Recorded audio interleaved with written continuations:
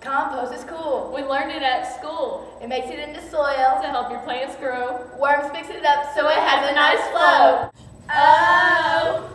It has lots of ingredients. That you can put in. Eggshells and newspapers. Pet poop is a sin. Why don't you come To our compost bin. We're going outside. And we're feeling really fly. So why don't you join us And we'll take you for a ride? To the compost. Come on, guys, let's go. Yeah. Go Compost! This is our compost bin. Welcome to our compost cooking show.